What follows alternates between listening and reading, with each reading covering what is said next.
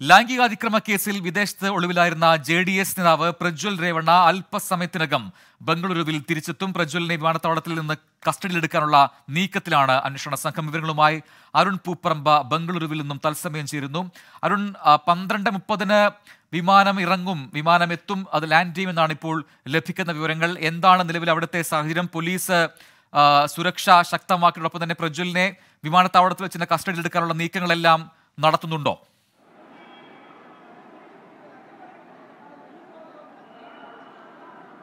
പ്രജുൽ നിലവിൽ പ്രജിൻ നിലവിൽ ലഭിക്കുന്ന സമയക്രമം അനുസരിച്ച് പന്ത്രണ്ട് മുപ്പത്തിയേഴിന് വിമാനം ബംഗളൂരു വിമാനത്താവളത്തിൽ എത്തിച്ചേരും.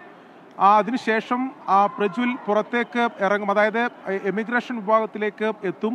അവിടെ ആയിരിക്കും പ്രജുൽ നിലവിൽ ഈ ലുക്കൌട്ട് സർക്കുലറും അതോടൊപ്പം തന്നെ ബ്ലൂ കോർണർ നോട്ടീസും ഇഷ്യൂ ചെയ്തിട്ടുണ്ട്. സ്വാഭാവികമായും എമിഗ്രേഷൻ വിഭാഗത്തിൽ പ്രജുലിനെ പിടികൂടുന്ന സാഹചര്യം ഉണ്ടാകും അതിനുശേഷം അന്വേഷണ സംഘത്തിന് വിവരം കൈമാറും. അന്വേഷണ സംഘം പ്രജുലിനെ കസ്റ്റഡിയിൽ എടുക്കുകയും ചെയ്യും.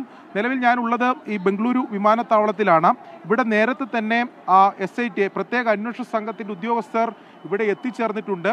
ആ പ്രജുലിനെ ഇവിടെ വെച്ച് തന്നെ കസ്റ്റഡിയിൽ എടുക്കുക എന്ന കാര്യം നേരത്തെ തന്നെ തീരുമാനിച്ചതാണ് അവർ അത് അറിയിക്കുകയും ചെയ്തിട്ടുണ്ട്.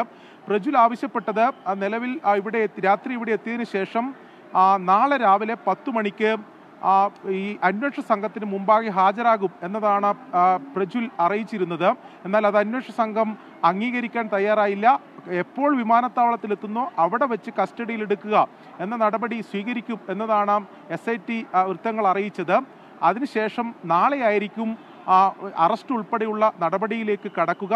നിലവിൽ വിമാനം ഏഴ് മിനിറ്റ് മാത്രമേ വൈകിട്ടുള്ളൂ പന്ത്രണ്ട് മുപ്പത്തിയേഴിന് വിമാനം ബംഗളൂരു വിമാനത്താവളത്തിൽ എത്തിച്ചേരും എന്നതാണ് ഇപ്പോൾ നമുക്ക് ലഭ്യമാവുന്ന വിവരം.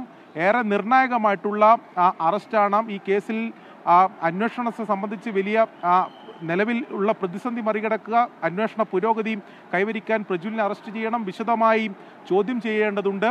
പ്രജുലിനെ നാളെ അറസ്റ്റ് രേഖപ്പെടുത്തിയതിന് ശേഷം പ്രജുലിനെ കസ്റ്റഡി ലഭിക്കുന്നതിന് വേണ്ടി അപേക്ഷ നൽകും എന്നതും അന്വേഷണ സംഘം എന്തായാലും അറിയിച്ചിട്ടുണ്ട്. നിലവിൽ പ്രത്യേക അന്വേഷണ സംഘം എസ് ഐ ടി വൃത്തങ്ങൾ നേരത്തെ തന്നെ ബംഗളൂരു വിമാനത്താവളത്തിൽ എത്തിച്ചേർന്നിട്ടുണ്ട്. പ്രജുൽ നാളെ ഹാജരാകാം എന്ന കാര്യം അവസാന നിമിഷം പോലും അഭിഭാഷകൻ മുഖേന എസ് ഐ ടി വൃത്തങ്ങളെ അറിയിച്ചിരുന്നു എന്നതാണ് നമ്മൾ മനസ്സിലാക്കുന്നത്. എന്നാൽ അത് അന്വേഷണ സംഘം അതിന് തയ്യാറായിട്ടില്ല.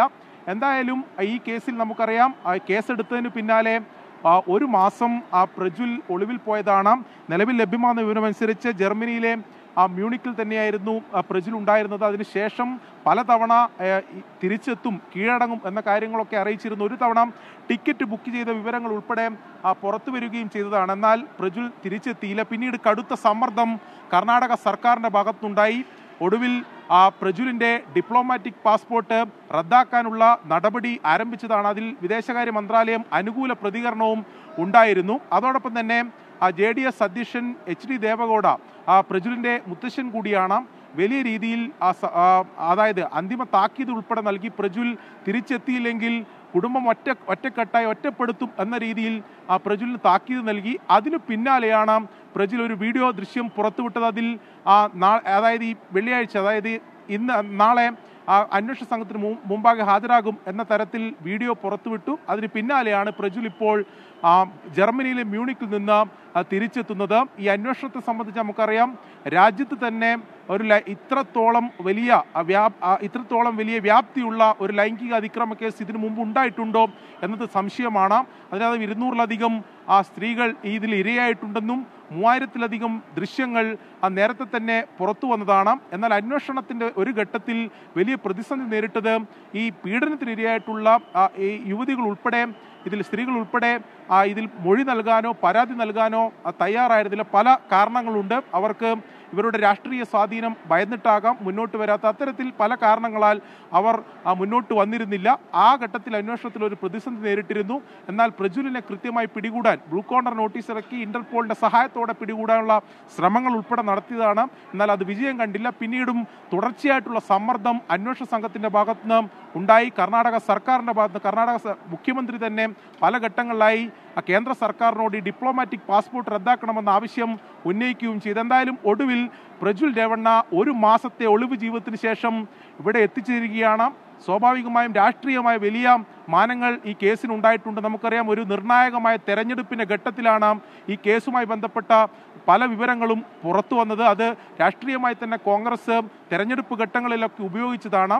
തെരഞ്ഞെടുപ്പിന്റെ അവസാന ഘട്ടത്തിലാണ് പ്രജുൽ എത്തുന്നത് എന്നതുകൂടി നമ്മൾ കാണേണ്ടതുണ്ട്. ഒരുപക്ഷേ ആദ്യഘട്ടത്തിൽ പ്രജുൽ കീഴടങ്ങുമെന്ന സാഹചര്യം ഉണ്ടായപ്പോൾ ബി ജെ പിയുടെ കടുത്ത സമ്മർദ്ദം തെരഞ്ഞെടുപ്പ് നടക്കുന്ന തെരഞ്ഞെടുപ്പ് പ്രക്രിയ നടക്കുന്ന ഘട്ടത്തിൽ പ്രജുൽ കീഴടങ്ങിയാൽ അത് രാജ്യവ്യാപകമായി കോൺഗ്രസ് അത് പ്രചാരണത്തിന് ഉപയോഗിക്കും.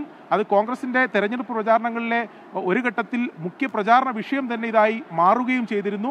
അത്തരത്തിൽ ആശങ്ക ബി ജെ പിയെ സംബന്ധിച്ചിടത്തോളം ഒരുപക്ഷെ കർണാടകയിലെ തെരഞ്ഞെടുപ്പ് ഫലത്തെ പോലും നിർണയിക്കുക ഈ കേസുമായി ബന്ധപ്പെട്ട കാര്യങ്ങളായിരിക്കും എന്ന തരത്തിൽ പോലും രാഷ്ട്രീയമായ വിലയിരുത്തലുണ്ട്. അത്രത്തോളം കോളിളക്കം ഉണ്ടാക്കിയ ഒരു കേസാണ്.